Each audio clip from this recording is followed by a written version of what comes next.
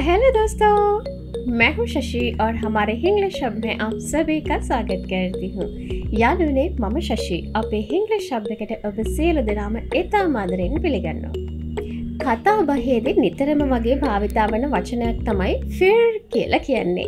එති මේ වචනය අපි භාවිතා කරන ස්ථානයට අනුව කොහොමද එක අර්ථය වෙනස් වෙන්නේ.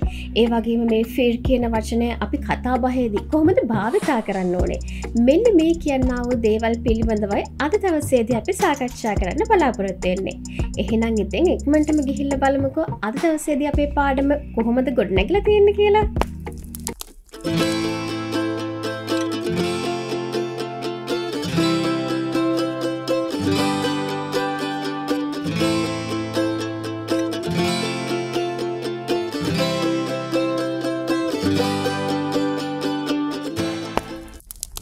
භාෂාවෙන් කතා බහ කරන්න උත්සාහ කරන අපිට නැත්තවම බැරි වචනයක් තමයි ෆිර් කියලා කියන්නේ. ෆිර් ඉතින් අපි මේ වචනය භාවිතා කරන්නේ අනාගත කාලය දැනවීමට එහෙමත් නැත්නම් අතීතය පිළිබඳව සාකච්ඡා කරන්න අවශ්‍ය වුණු අවස්ථාවන් හිදී. ඒ වගේම තමයි මේ වචනය විවිධ වූ අර්ථවලින් අපට භාවිතා කරන්නත් පුළුවන්.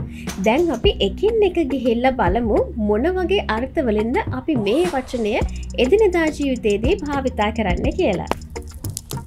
ෆෙර් කියන වචනය ඉතාම සරලව අපිට පස්සුව ඊට පස්සේ පස්සේ මෙන්න මේ කියන්න අවර්ථවලින් භාවිතා කරන්න පුළුවන්.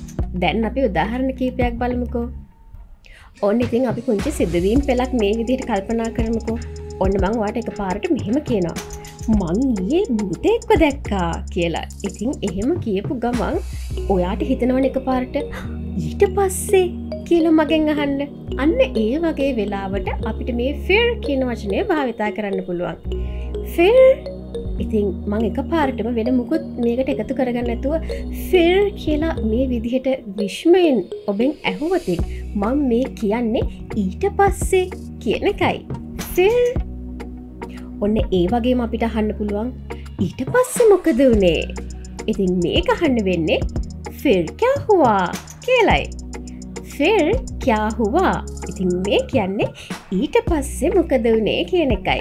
ෆෙර් කයාහුවා ඔන්න ඉතින් මෙතනදි වචන පොඩ්ඩක් එහා මෙහා කරලා අපිට ඔන්නම් මෙහෙමත් අහන්න පුළුවන්. ෆෙර් හවා කයා ෆෙර් හවා කයා ඉතින් ඒ අහන්නෙත් ඊට පස්සේ මොකද උනේ කියනකම තමයි. ඔන්න ඉතින් ඊට පස්සේ මට මෙහෙම කියන්න පුළුවන්. මෑෆිර් වහන්සේ භාග්‍යයේ. මෑෆිර් වහන්සේ භාග්‍යයේ. ඒ කැන්නේ ඊට පස්සේ මම එතනින් පැනලදිව්වා කියන එකයි. භාග්ජානා ඒ කැන්නේ පැනලදුවනවා කියන එක ඉතින් දැන් මේ වෙනකොට මම පැනල දුවල ඉවරයිනේ අතීත කාලය හඟවන්න ඔන්න සත්තමයි මං මෙතනදේ මැෆිල් වහසේ භාග්ගයි කියලා මේ වාක්‍යෙද භාවිතා කරලා තියෙන්නේ ඊට පස්ස මං එතන පැනල දේව කියන එකයි ඔන්න මං මේ කියන්න උත්සාහ කරන්නේ ඕනිතින් අපි තවත් උදාහරණයක් බලමුකෝ पहले ये काम करो फिर मैं बताऊंगी पहले ये काम करो फिर मैं बताऊंगे ඉතින් මේ කියන්නේ ඉස්සර වෙලා මේ වැඩේ කරන්න पहले ये काम करो फिर मैं बताऊंगी ඊට පස්සේ මම කියන්නම් කියනකයි ඔන්න මෙහිදී මම මේ කියන්නේ ඉති මං ගෑන්ලමෙක් නිසානේ ෆිල්මේ බතවුන්ගේ කියලා මේ වාක්‍ය නිර්මාණය වෙලා තියෙන්නේ ඉතින් පිරිමිලමෙක් කියනවනම් අපිට කියන්න වෙන්නේ ෆිල්මේ බතවුන්ගා කියලා. ඊට පස්සේ මම කියන්නම් කියනකයි ඔන්න මේ වාක්‍යංශය අර්ථය වෙන්නේ. එහෙනම් ඉතින් අපි මේ හැම තැනකදිම ෆෙල් කියන වචනය භාවිතා කරන්නේ පස්සේ. එහෙමනත්තං ඊට පස්සේ කියන අර්ථයදීමටයි ඕන ඉතින් ඊළඟට අපිට පුළුවන් නැවත. එහෙමනත්තං නැවතත් ආයමත් මෙන්න මේ වගේ අර්ථදීම සඳහාත් මේ ෆිර් කියන වචනය භාවිතා කරන්න. එතනද අපිට පුළුවන්නේ ෆිර්සේ කියන්නාවෝ වාක්‍යංශයක් ගොඩනගා ගන්න ෆිර්සේ තැන් අපි උදාහරණ බලමුක. ෆිර්සේ කරෝ. ෆිර්සේ කරෝ. ඒ කියන්නේ නැවත කරන්න. එහෙම නැත්තං ආපහු කරන්න කියන එකයි. ෆිර්සේ කරෝ. ෆිර්සේ සෝචෝ. ෆිර්සේ සෝචෝ. ආපහු හිතන්න. නැවත හිතන්න කියන එකයි මේ වාක්‍ය අර්ථය. නැවත ආයමත් කියන අර්ථය දෙන්න අපිට අවශ්‍යනං ඇතැම් අවස්ථාවන් හිදී ෆිර් කියන වචනය විතරක් වනත් භාවිතා කරන්න පුළුවන්. ඒ මෙනි මේ විදිහටයි. ෆිර් මිලෙන්ගේ. ෆිර් මිලේන්ගේ. ඒ කියන්නේ නැවත හමුවමු කියන එකයි. ෆිර් මිලෙන්ගේ. ඔන්න ඉතින් මීළඟ භාවිතය.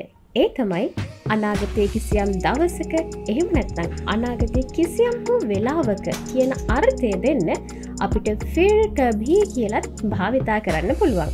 අපි සාමාන්‍යෙන් අර කතා බහිද කියන්නේ පස්සෙ වෙලාවක එහමනත්තම් පස්සෙ දවසක කියලා.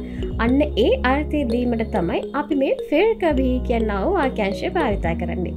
දැන් අපි බලමුක වාකිවල මේක යොදාගෙන. හම් ෆෙල්කබී ආයන්ගේ. හම් ෆිල් කබි ආයෙන්ගේ. අපි පස්සේ දවසක එන්නම්. එහෙමනැත්තන් අපි පස්සේ වෙලාවක එන්නම් කියල කියන්න මේ වාක්‍ය භාවිතා කරන්න පුළුවන්. හම් ෆිල් කබි ආයෙන්ගේ. ෆිල් කබි දෙක්තේ හැ. ෆිල් කබි දෙක්තේ හැ. පස්සේ දවසක බලමු. එහෙම නැත්තම් පස්ස වෙලාවක බලමු කියන එකයි. ෆිල් කබි දෙක්තේ හැ.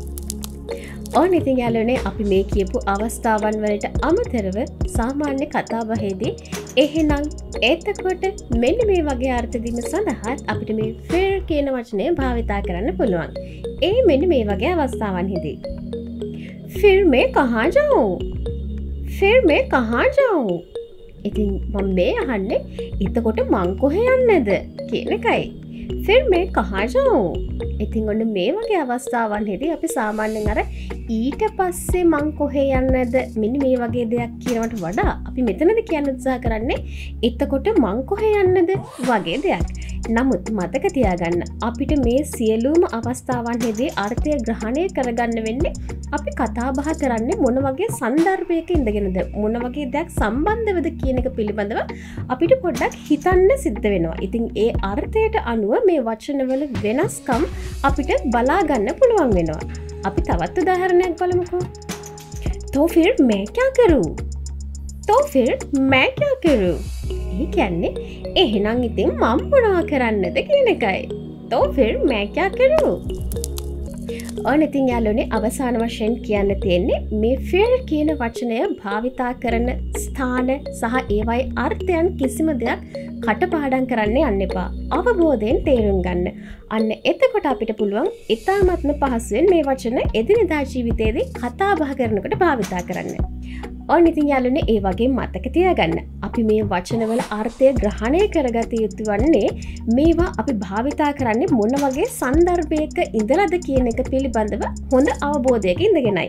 එහෙම නැතුව කටපාඩන් කරගෙන මේක කියන්න උත්සාහ කරෝතින් අනිවාරෙන්ම අර්ථයට හානිවෙන්න තියෙන සම්භාවිතාවය ගොඩක් වැඩි ඕන ඉතින් ඔබට මේ පිළිබඳව මොනොහරි ගැටලුවක් තිනනම් අපේ කමෙන්ට් සෙක්ෂන් එක හරහා අපිට කියලවන්නත් අමතක් කරන්න එපා दोस्तों अगर आप लोगों को हमारा ये वीडियो पसंद आ रहा है तो फिर मेरे चैनल को सब्सक्राइब कर दीजिएगा और हमारे वीडियोस अपने दोस्तों में शेयर भी कर दीजिएगा तो फिर ऐसे ही एक मज़ेदार वीडियो के साथ फिर मिलते हैं तब तक के लिए बाय बाय